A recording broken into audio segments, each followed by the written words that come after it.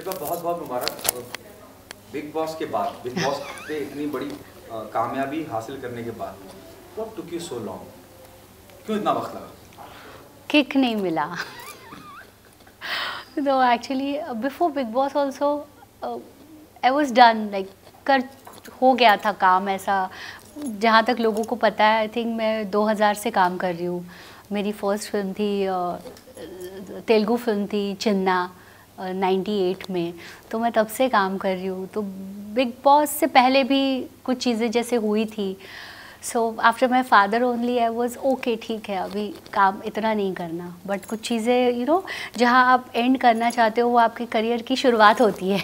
तो आफ्टर भाभी जी, मुझे फिल्म्स के ऑफ़र आने लग गए और फिल्म्स जो कभी करनी नहीं थी, जो शुरुआत में स्ट्रगल किया था फिल्म्स के लिए फिर टीवी में fame name money daily soap में बहुत पैसा आ जाता है रोज़ आता है ऐसा टाइप लगता है। सो so, वो कहीं ना कहीं आई मेरा है कि कहीं ना कहीं लाइन ड्रॉ करना बहुत ज़रूरी होता है।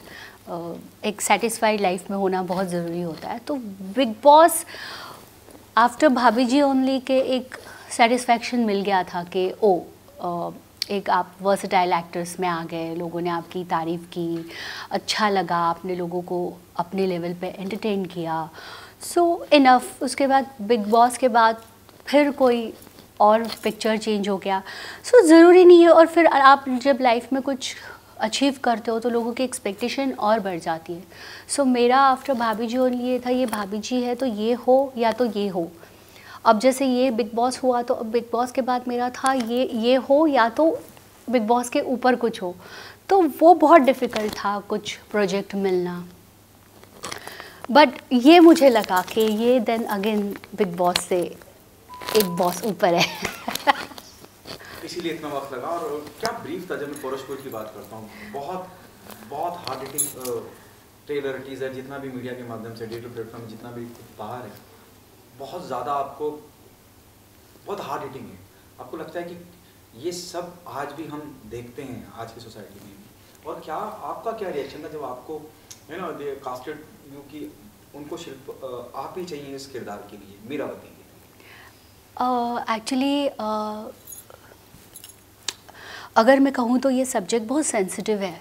uh, अगर हम अगर हम uh, पुरानी चीज़ें खोल के देखते हैं जहाँ खजुराव की मूर्तियाँ हैं खजुराव जहाँ से आया है we were Indians and Indian तो आ, हम बहुत एडवांस थे और आ, अगर जो लोगों को पता है अभी लोग बहुत ऑर्थोडॉक्स कंजर्वेटिव हो गए हैं ऑब्वियसली सारी चीज़ें चेंज हो गई लेकिन अभी भी हम you know we are in twenty century जहाँ बहुत सारी चीज़ें बोल्ड हो रही है बहुत सारे चैनल्स पे बोल्ड सीन शूट हो रहे हैं।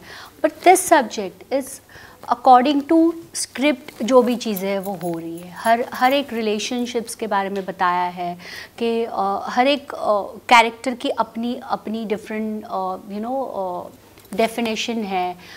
और आई थिंक सिचुएशनल है, जो भी सीरीज़ है bold in the sense obviously जो सब्जेक्ट है, वो बोल्ड है, क्योंकि वही कहा ना कि उस ज़माने में क्या होता था, किस, कितनी चीज़ें एडवांस थी, वो हमको ही पता है, सबको पता है। बट लोगों ने अपने आप को वो थोड़ा कंजर्वेटिव करके रखा है, इसीलिए प्रॉब्लम होती है और उसको देखने का तरीका।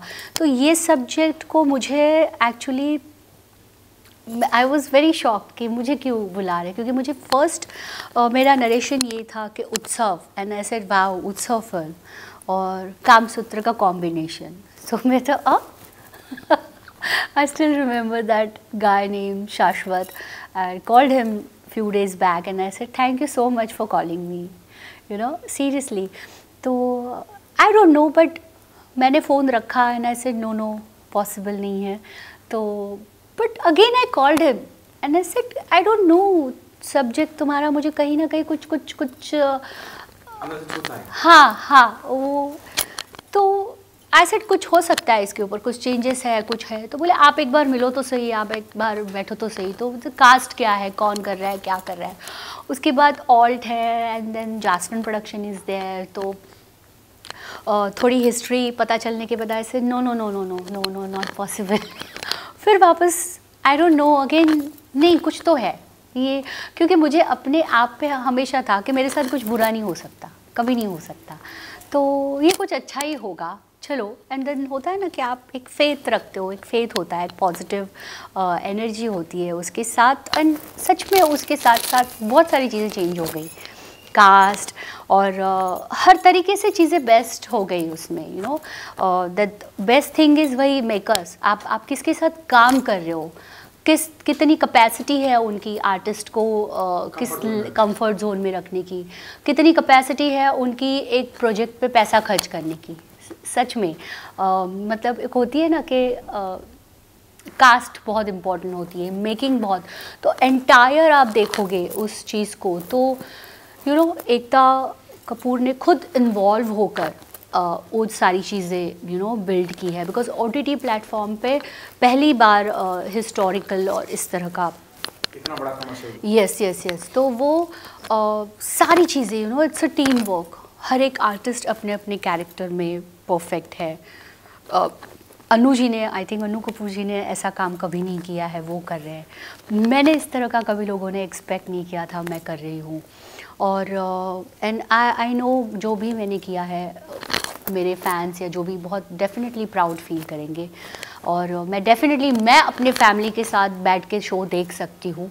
Uh, मैंने ऐसा काम किया है और बाकी के लोगों ने भी उस ऐसा काम किया है। डायरेक्टर ने बहुत एस्थेटिकली शूट किया है uh, सब चीज़ों को। सो कहीं भी uh, मुझे हाँ नहीं है।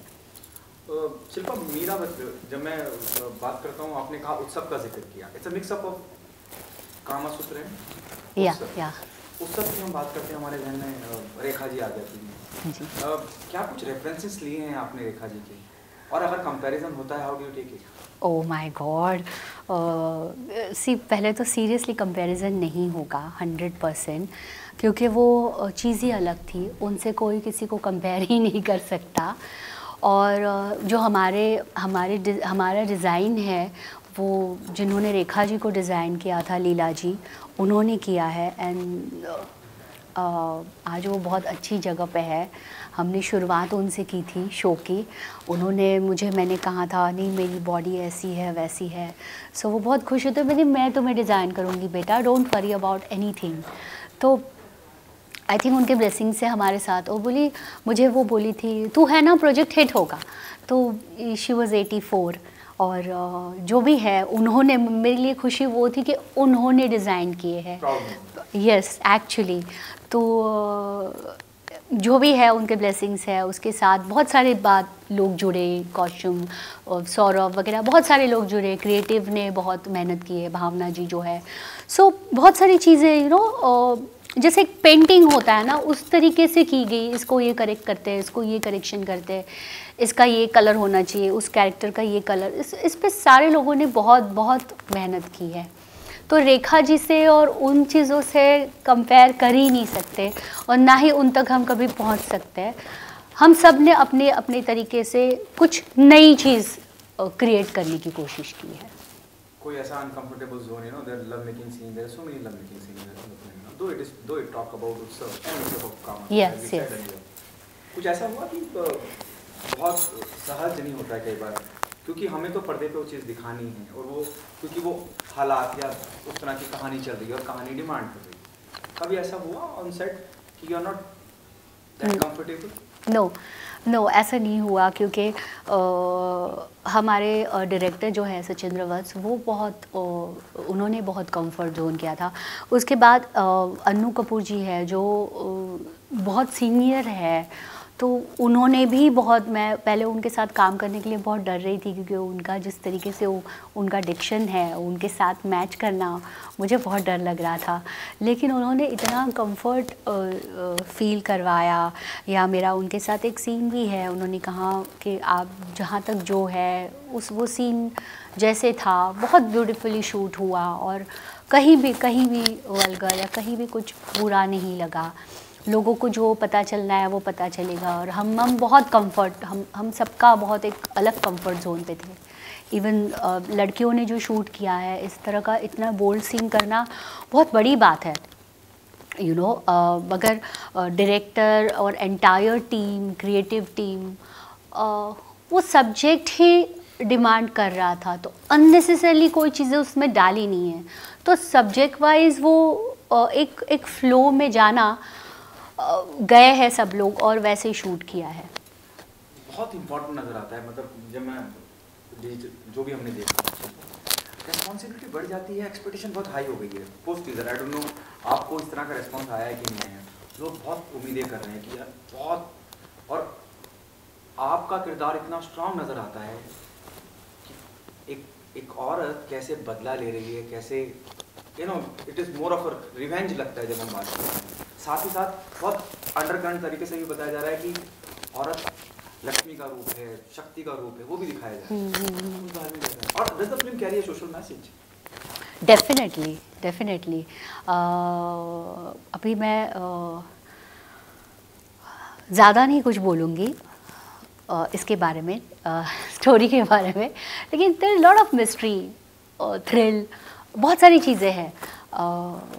बट हाँ डेफिनेटली ये डंके के चोट पे कहूँगी कि अभी ट्रेलर देख के या देख के ऐसा नहीं ऐसा लग रहा है वाओ क्या होगा? और वो होता है ना ओ ये क्या खोदा पहाड़ निकला चूहा। वैसा नहीं होगा।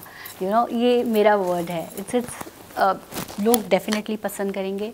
And yes there is message hundred percent तो औरतों के उद्धार के बारे हाँ।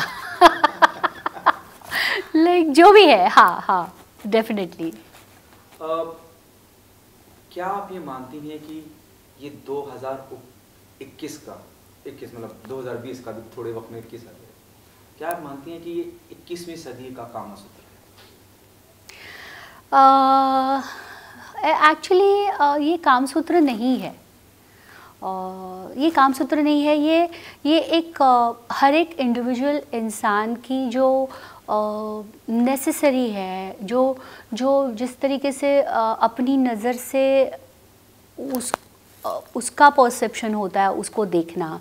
जैसे कि Paurashpur is like male dominating you know kingdom जहाँ पे और, औरत को एक ही चीज़ के लिए देखा जाता है, कि औरत बस इसी के लिए बनाई है शो है, उसमें दूसरी कोई चीज़ नहीं तो फिर महारानी और दासी में कोई फ़र्क नहीं है।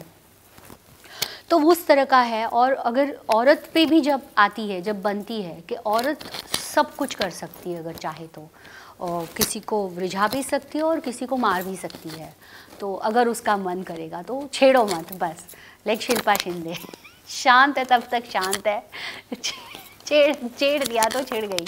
तो उस तरह का है Paurashpur it's like not not like बिल्कुल नहीं मैं कहूँगी कि इस सदी का काम सूत्र है।